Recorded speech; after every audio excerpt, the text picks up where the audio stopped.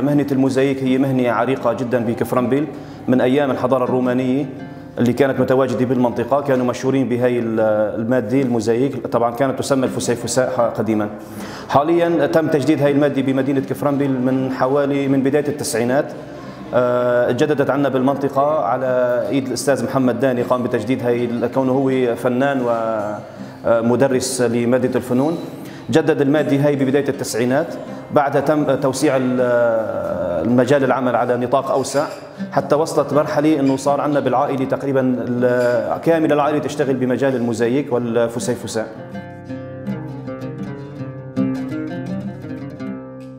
حاليا نحن أنشأنا مركز غزال للتدريب المهني وكان تركيزنا أكثر شيء بالمركز على تدريب مهنة الموزاييك لفئة معينة من النساء اللي هي نساء الشهداء والمعتقلين.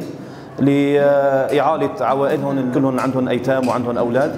فتستطيع المرأة العمل بهي المهنة في بيتها. طبعا بعد ما تخضع لدورة تدريبية لمدة ثلاثة شهور تتقن هذه المهنة. فتعمل في بيتها بأدوات بسيطة. هي المادة لا تحتاج إلى أدوات كبيرة.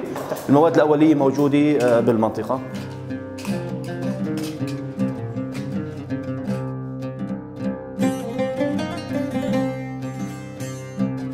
حاليا عم نواجه صعوبه آه، وهي صعوبه صعوبات كبيرة هذا المجال اللي هي إيصال المادة إلى خارج سوريا.